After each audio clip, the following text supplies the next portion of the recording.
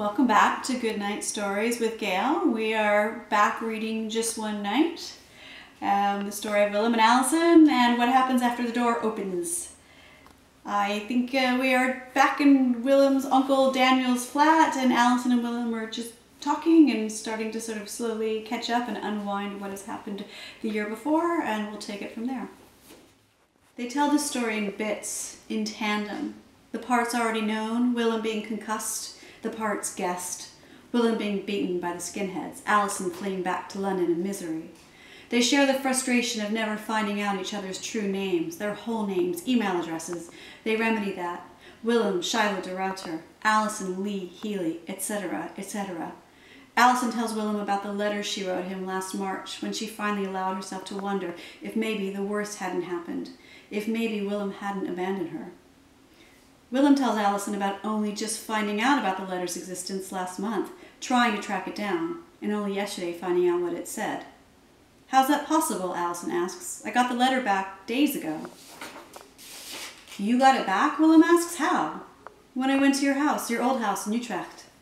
Broach's place, on Bloemstraat, where he'd spent the dark days following his return from Paris, healing from the beating, from everything really. How did you know to go there? he asks, to Bloemstraat. He hadn't lived there when they'd met, and he hadn't given her any contact information. This was something he had regretted. Allyson is embarrassed now at the lengths she went through to find him. She doesn't regret going through them, but she understands how overzealous it might look.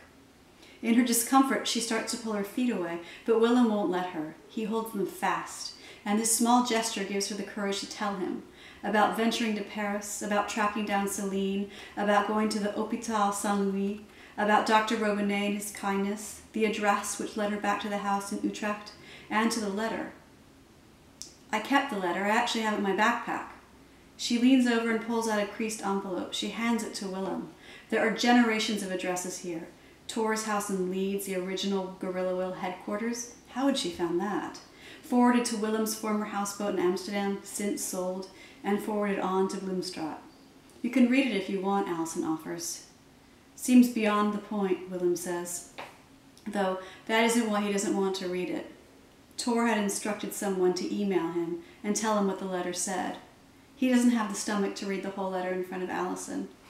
But Allyson takes the envelope back, unfolds the letter inside of it, and hands it to him.